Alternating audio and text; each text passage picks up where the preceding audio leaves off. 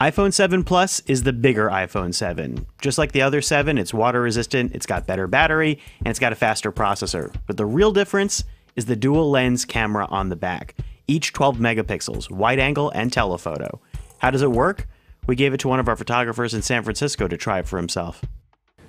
Would this be a particularly good place to do a selfie? I'm James Martin. I'm the senior photographer at CNET. I've been uh, spending some time with the iPhone 7 Plus for the past week and kind of taking it around San Francisco and the Bay Area and kind of looking at some of its capabilities as a mobile phone camera and seeing what it can do. It's been really impressive. The two lenses, the wide angle and the telephoto lenses on the back, has an impressive range to it. And the zoom is, is, is incredible.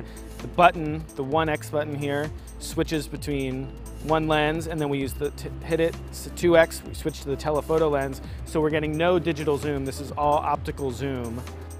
Certainly, I, I can see this being a replacement for point and shoot cameras. The, the, the photos are amazingly sharp. Uh, even in low light, it has, it has really good uh, range of tones. It evens out the highlights and the shadows very, very well.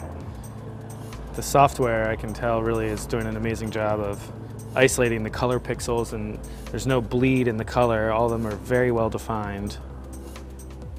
It's really pretty.